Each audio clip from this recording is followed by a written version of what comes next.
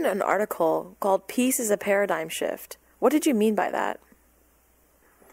I take it that we kind of agreed what we mean by peace for the time being. So the question is about what we mean by a paradigm shift, and it's a very important one because if people think that nonviolence is just uh, kind of a way of behaving that might attract less harm, they don't understand that nonviolence really implies a total change in our way of seeing the world, of thinking of ourselves, and what our relationship is to one another. And it's a deep change that will affect every aspect of life.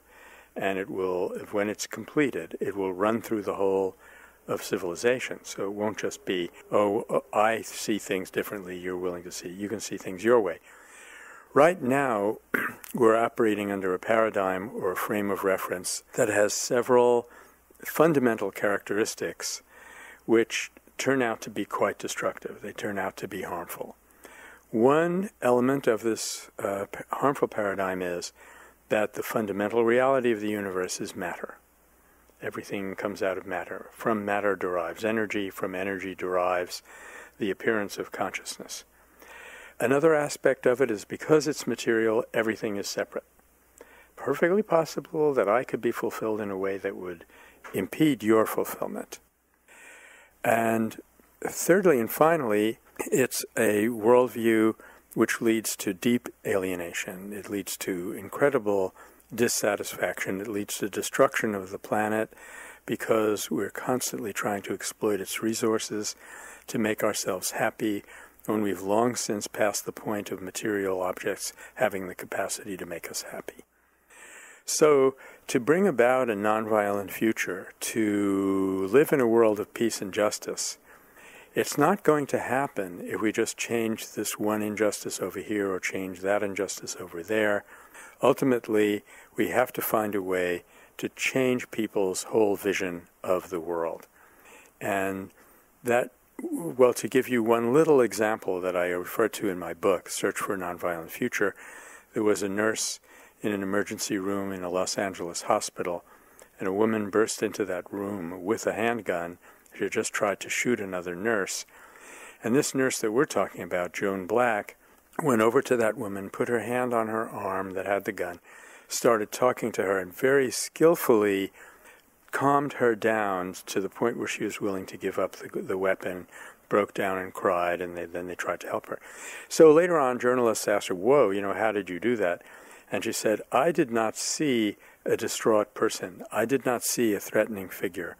I saw a patient. I saw a sick person, a hurting person coming through that door. I'm a nurse. I know how to deal with hurting people. That's what I'm trained to do.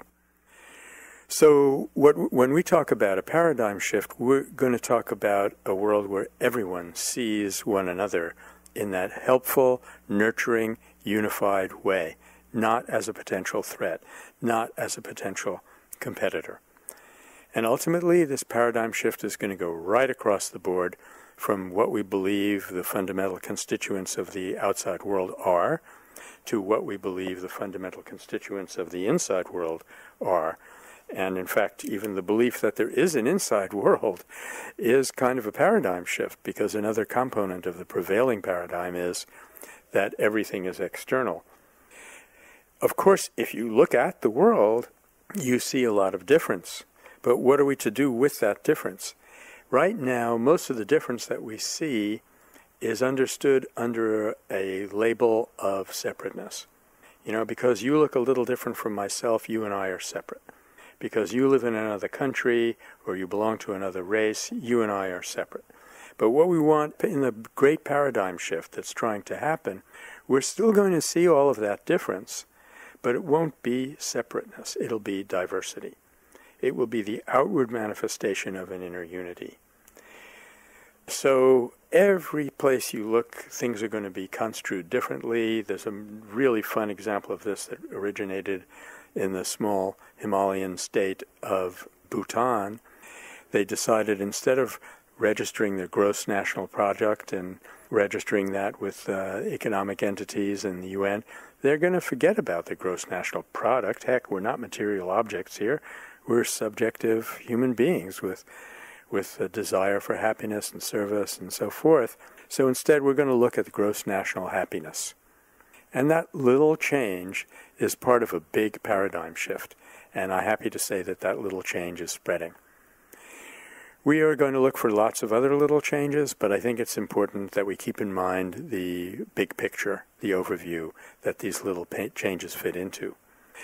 So, welcome aboard. This is the Great Turning, and this is the progress from a paradigm of separateness, exteriority, and materialism to a paradigm of unity, interiority, and connectedness. The fundamental shift, therefore, that we really need to bring about, and which will be very rewarding to bring about, is a change in the human image. What do we think we are, and what do we think others are? And how is the relationship between and among us to be realized?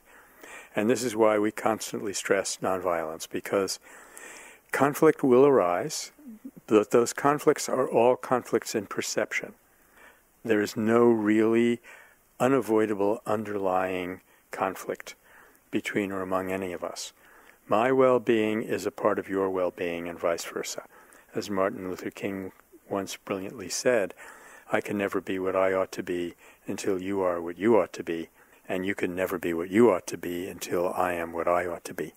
That was a beautiful, succinct definition of how we are going to look to one another in the new paradigm. Not as competitors, not as people whose well being may have to be sacrificed for our own, or vice versa. Not as people whose well being has to be achieved independently, totally independently, but rather entities whose well being is interconnected with one another. So, this is a tremendous shift, and it's very exciting to be living at this time in evolutionary history when we can actually play a part in bringing this about. I think many of us have begun to realize that, and until and unless we bring this about, nothing will save us from competition and violence. So, again, welcome aboard the Great Turning.